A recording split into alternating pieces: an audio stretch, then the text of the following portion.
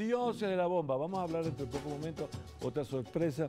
Tengo que agradecer muchísimo el cariño que la gente me da con mi equipo cuando caminamos por las calles de Quito, por las calles, calles de Urcuquí.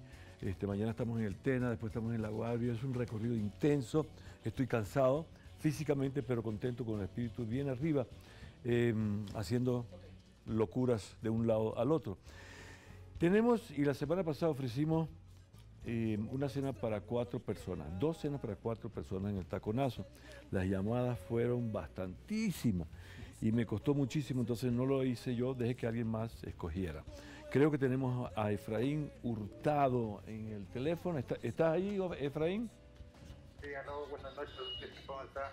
Hola Efraín, ¿qué fue lo que me dijiste cuando escribiste en el papel que querías participar en esto? No, no lo logro escuchar perfectamente. ¿Qué fue lo que escribiste en el mensaje, en el texto de mensaje cuando nos mandaste tu deseo de participar en este sorteo? Sí, me escribí para tener la oportunidad de lograrme inscribir para ver si me ganaba una cena. ¿Y, y tú, con quién vas a ir?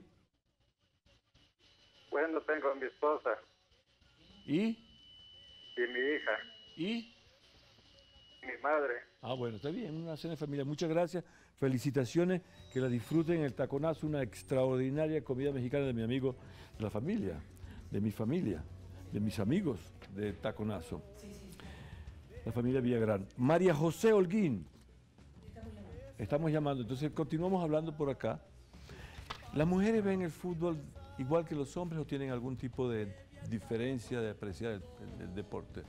No sé si es que sean divisiones diferentes, debería decirme cómo ve él cómo veo yo, pero creo que coincidimos en muchas ocasiones cuando, cuando vemos, por ejemplo, con la pasión, creo que eso debe ser igual el sentimiento porque no es que no es, que es algo de género, no es que la mujer es así, el hombre es así a rajatabla, sino seguro es por personalidades, por tema de, de, cómo se lo asimila, por tema de sensaciones, por todo lo que se ha vivido inclusive en el deporte y lo que se ha tenido posibilidad de compartir en él. Lo que sí puedo decir es que en tema de análisis, ya en profesionalmente, a veces coincido, en muchas ocasiones coincido con los colegas, coincido con futbolistas en apreciación de jugadas. Eso sí puede ser una apreciación parecida, pero insisto, por tema táctico, ya de tratar de entender el porqué de una acción, el porqué de, de que se mueve así un equipo o un jugador. El del otro es muy, muy, muy relativo, muy subjetivo. Los hinchas pueden ser este, muy amigos, pero también pueden ser muy duros con el jugador, ¿no? Sí, sí, a veces el, guiados también a veces por el periodismo, a veces también porque por el fanatismo. cuando, el, cuando el jugador hace un gol, le suben al cielo y cuando el jugador tal vez hace un autogol, le pueden también criticar mucho. Entonces el jugador no tiene que depender de, las, de los comentarios de afuera, él tiene que creer en él mismo, tener una personalidad, un carácter y tener una formación bien definida para no depender de, de las, de, las, de los alabanzas ni de las críticas, sino él siempre tener un camino eh, correcto. Hablando de Sole, Sole realmente es de las mejores comentaristas del país.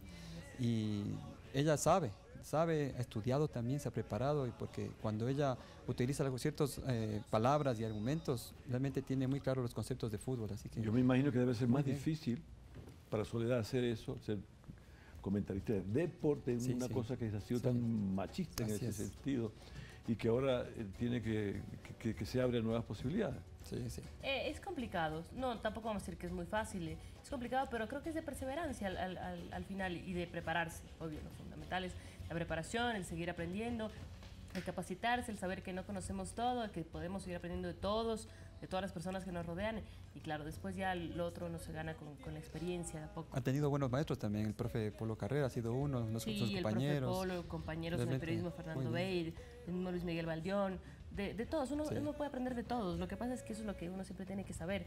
No, hay personas que dicen, pero él, él es súper distinto a ti, que me dice, por ejemplo, en la radio, que pasa con un colega, muy diferente a ti, pero de todo se aprende ese colega con el que siempre me dicen que es muy radical, que es muy distinto, que es el loco Valdeón.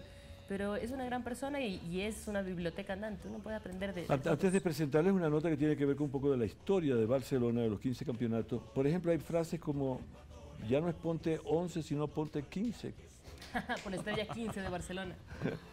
Antes de hacer ese, ya tenemos la llamada con María José Olguín. María José, queremos felicitarte porque te ganaste una cena para cuatro personas en el taconazo. ¿Dónde andas? Hola, ¿cómo estás? Un gusto saludarte, escucharte. Eh, te admiro mucho, eres una excelente persona, me encanta tu programa. Estoy aquí en Quito, en el sector La Carolina. Ok, muy bien, espero que disfrutes. ¿Con quién vas a ir? Con mi novio y unos amigos a disfrutar. Gracias por la oportunidad, en serio. A ver si te proponen matrimonio esa noche o no te quieres casar. no, todavía no. bueno, disfruta, María José. Es una deliciosa comida, invitación de 593. Lamento que no he podido invitar a las cientos de personas que llamaron para inscribirse, y participar en este sorteo.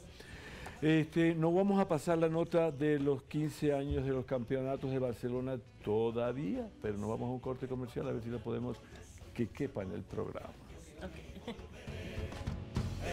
Países arrogantemente cierran puertas a quienes emigran buscando mejor solvencia.